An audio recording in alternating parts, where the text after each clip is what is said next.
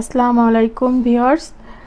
শাবনাজ রেসিপিতে আপনাদের সবাইকে স্বাগত জানাচ্ছি।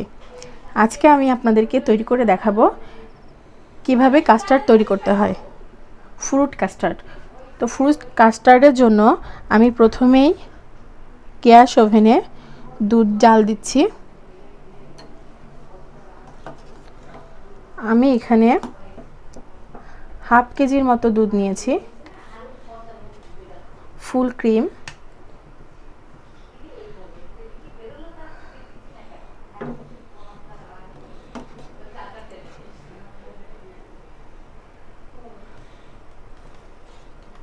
দুধটা যতক্ষণ পর্যন্ত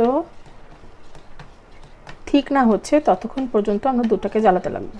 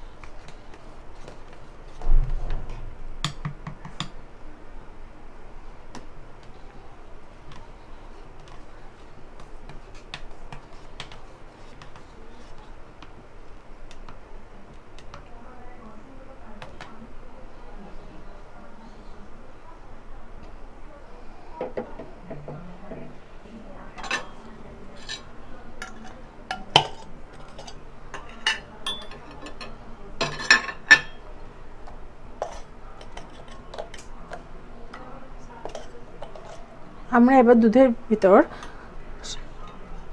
দুই চা চামচ মতো কাস্টার্ড পাউডার মেশাবো। আপনারা যে কোনো প্রোডাক্ট গ্রুপের কাস্টার্ড পাউডার নিতে পারেন।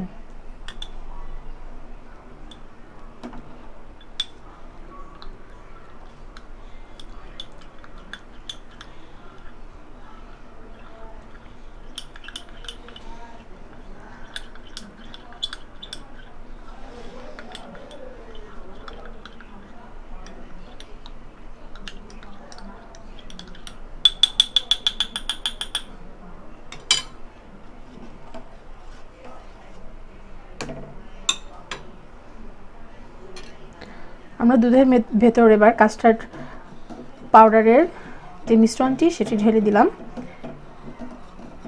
এবং একটি হুইস্কের সাহায্যে এটা অনবরত নাড়তে থাকব, যেন এর ভেতরে কোনো লামস বা গুটি গুটি না থাকে।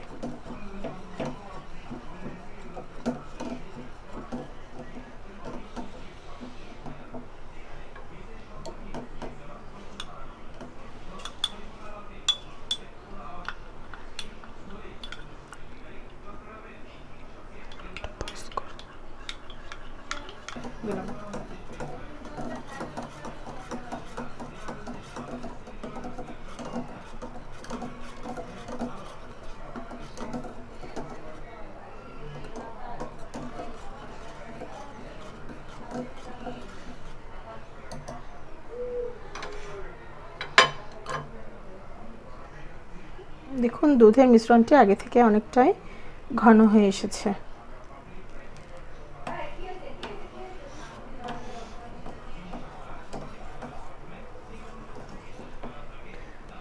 আপনাদেরকে আরও একটি কথা বলে রাখি, যখন দুধটি আমি জাল দেওয়া শুরু করেছিলাম, তখন এর ভেতরে আমি মিষ্টি অনুযায়ী, যারা যেমন মিষ্টি পছন্দ করেন, ঠিক তেমন অনুযায়ী আমি চিনিও অ্যাড করেছিলাম।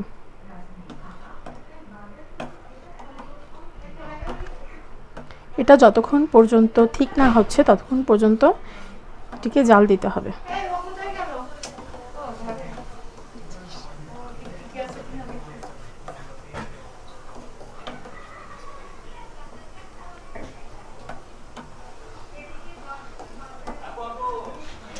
আমাদের দুধটি জাল দেওয়া প্রায় হয়ে গেছে।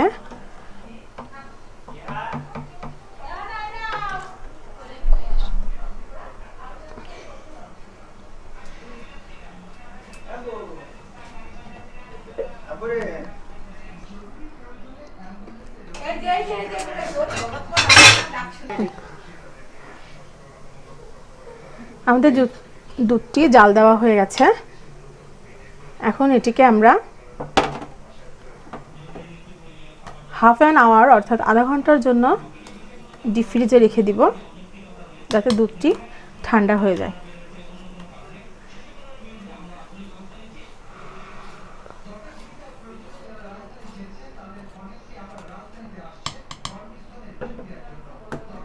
আমরা গ্যাস ওভেন অফ করে দিলাম।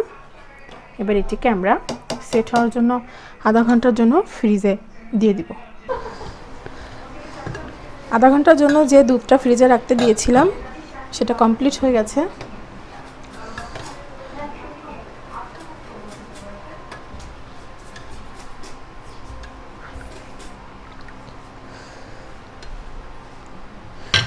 কাস্টার্ডের জন্য আমরা এখানে তিন রকমের ফ্রুটস নিয়েছি।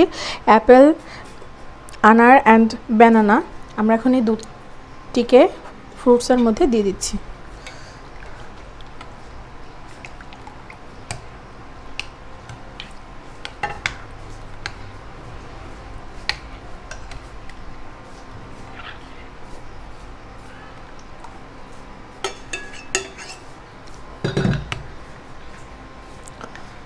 ভালোভাবে এটিকে নাড়িয়ে নিতে হবে।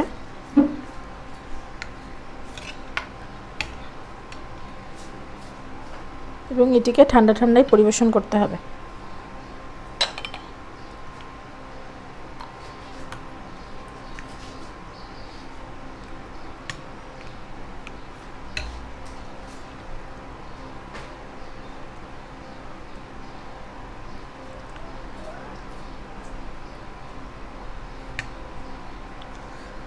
তৈরি হয়ে গেল ফ্রুট কাস্টার্ড